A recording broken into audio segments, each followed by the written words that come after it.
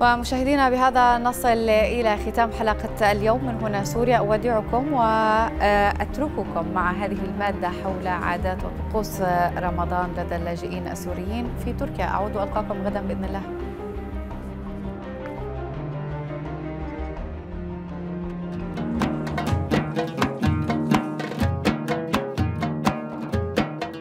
يبقى السوريون محافظين على عاداتهم وطقوسهم الرمضانية رغم الظروف الاقتصادية الصعبة التي تحيط بهم هنا في بلاد اللجوء. فلم تنل مرارة اللجوء لدى السوريين من عزيمتهم.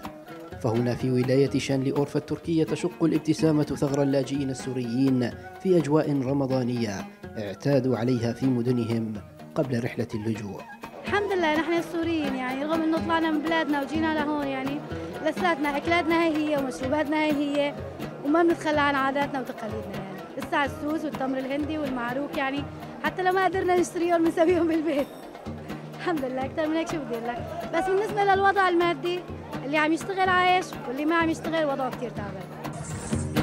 تختلط الأسواق بين الأتراك والسوريين فطبيعة المكان واحدة والفرح باستقبال الشهر الكريم يتقاسمه اللاجئ والمقيم فتكتظ الأسواق والمحال التجارية ويسعى الصائمون على اختلافهم لتوفير السفرة الرمضانية التي ما زالت تحافظ على طقوسها. هاي أجواء رمضان يعني ما تغيرت علينا مثل سوريا بس الظروف اللجوء والهاي شوية صعبة المعيشه شوية غالية والأسعار شوية بيرتفع.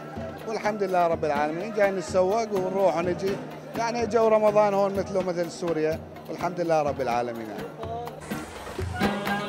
يحافظ السوريون على عاداتهم هنا في أورفا التركية رغم الظروف الاقتصادية التي أحاطت بهم لكن ضيق الحال لم يمنحهم من استقبال شهر الصيام بكثير من الأمل متمنين أن يكون رمضان القادم في مدنهم وقراهم.